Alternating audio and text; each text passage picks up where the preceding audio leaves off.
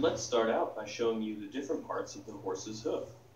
We have the hoof wall, the white line, the sole, the frog, the collateral grooves and the bars, the central sulcus, the heel and the toe, and the heel bulbs.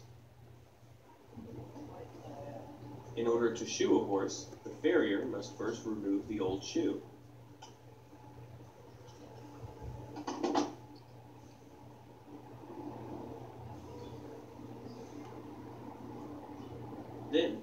The frog. This could be done with a double-sided hoof knife, or with a regular hoof knife as shown here.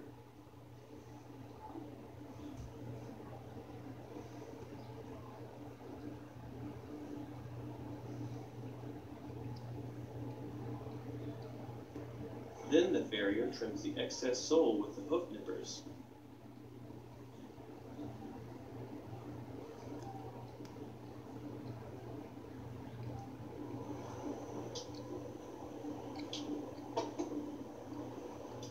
The farrier uses a rasp to flatten and level the hoof to prepare it for a new shoe.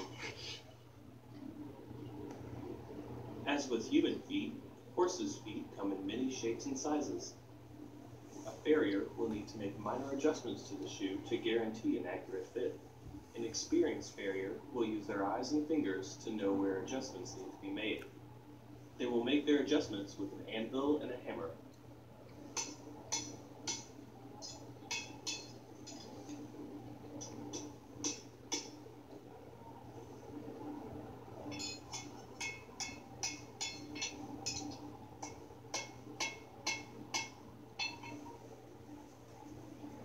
The farrier aligns the shoe so that it sits perfectly against the edge of the hoof.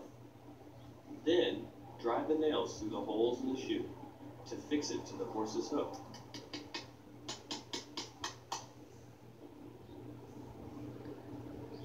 The farrier uses a rasp to level the outside of the shoe with the hoof.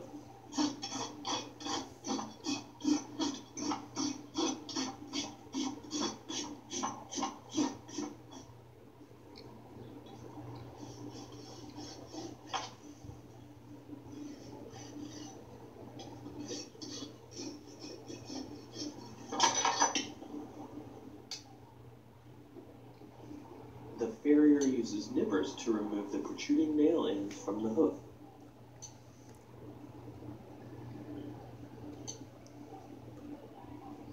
Clinchers are used to bend the end of the nail to hold the shoe in place.